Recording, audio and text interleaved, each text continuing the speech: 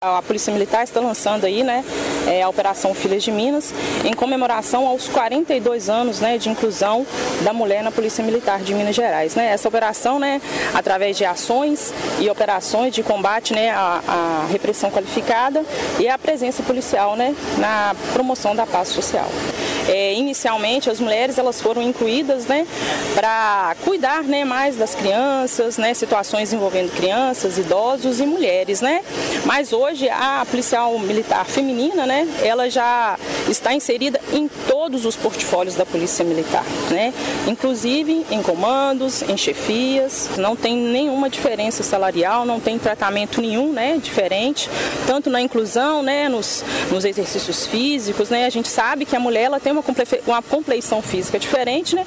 E todos os exercícios eles são feitos na mesma proporção. Tenente Cristiane, qual o maior desafio da polícia feminina nesta tarefa de segurança pública e vai também a, a segunda pergunta, a sensibilidade que a mulher tem facilita o trabalho? Sim, eu acredito, né, que a instituição ela pensou justamente nessa questão da sensibilidade, né?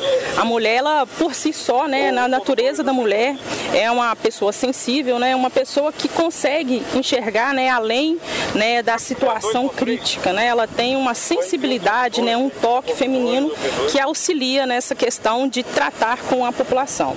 O maior desafio que a gente enfrenta hoje é, é mais mesmo a questão de lidar com todas as situações que envolvem, né? Porque a mulher, ela não só trabalha fora, né? Ela tem a família, então eu acredito que é o desafio maior é nesse sentido, é de é, se desdobrar em várias para poder dar conta de todo o serviço. Outro 42 anos, né? Em 1 de setembro de 1900, 1981, nós tivemos a primeira turma, né, de policiais femininas, eram 120 no curso de sargento, né, que na época o coronel Coutinho, né, ele teve essa, é, essa sensibilidade de e nesse visão, né, esse olhar para o futuro de entender que a mulher ela era é, necessária na instituição. Na unidade do 14º, atualmente nós temos 31 policiais femininos, né? E na 12ª região, né, nós temos 11 policiais femininos. Um total aí de aqui na, na cidade de Ipatinga, né, 42 mulheres. Várias atividades da Polícia Militar, várias atividades da mulher no papel dela dentro da sociedade.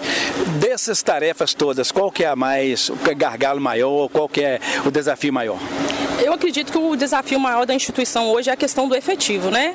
O efetivo, ele é reduzido, né? A gente sabe, né? Por questões até eh, lógicas, né? 10% do efetivo, né? Eu acredito que poderia, né? No futuro, a gente ter um pouco a mais de policiais femininas até para poder atender também a demanda, né? Do serviço operacional. Nas diversas buscas, né? As diversas buscas, no atendimento mesmo, igual hoje nós temos uma incidência maior da questão da violência doméstica, né? Então, eu acredito que o desafio maior da nossa instituição é mesmo fazer cobrir esse, essa falta né, de efetivo da policial feminina. É uma rotina que a, a gente é, encontra todos os dias, né?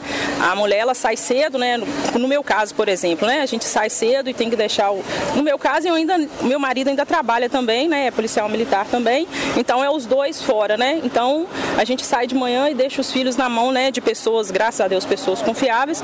Mas a gente tem aquela sensação de que eu vou sair, vou fazer o meu melhor para voltar e retornar para minha família. A gente precisa de uma sociedade melhor, né, de uma vida melhor até para os nossos filhos também. Duas situações, Tenente Cristiane. A primeira, é, qual o recado que a senhora teria para aquelas pessoas que, as meninas, né, adolescentes que querem ou têm o sonho de ser policial um dia?